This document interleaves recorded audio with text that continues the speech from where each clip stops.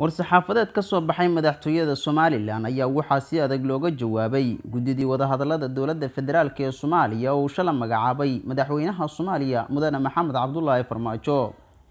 Qoraalka ka soo baxay madaxtooyada somalilan ee lagu jawaabay farmaajo ayaa waxa u qornaa sida tan guddida uu shalay magacaabay madaxweynaha maamulka muqdisho nuxurka hawsha u igmaday waxay kala ahaayeen laba qodob oo kale ah. In xal waara oo midho dhal ah laga gaaro tabashooyinka walaalaheena somalilan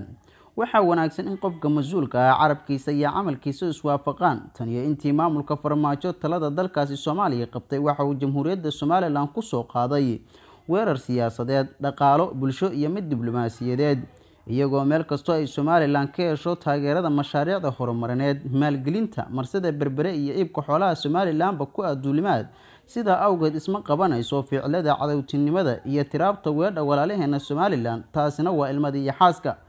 jamhuuriyadda somalilan tabashadeeda iyo dhibtii soo gaadhay waxay kaga garnaqsan kartaa oo keliya fagaaro caalami ah oo bulshadu caalamka ay goobjoog ka tahay. Balse maamulka cadowga ee farmaajo xalinta tabashada nagama dhaxayso. Ee garnaqsi laba dal ayaa noo dhaxaysa caqliga saliimka ahna dhigi maayo in cadowgu ku weydiiyo tabasho balse waxa uu ku fakarayaa inuu iska kaaceliyo qodobkiisa labaadna waxa u dhignaa xaqiijinta mabaadi'da federaalka jamhuuriyadda somalilan ma qusayso howlaha federaalku. Dib u xasuuso taariikhda kun sagaal boqol iyo lixdankii waxaynu ahayn laba dal oo kala madax bannaan caalamkuna aqoonsan yahay islamarkaana ku midoobay baadigoobkii shantii soomaaliyeed balse kun sagaal boqol sagaashan iyo kowdii midoogaasi waa uu burbalay ilaa kun iyo sagaal boqol kow iyo sagaashankiina waxaynu nahay laba dal oo kala madax bannaan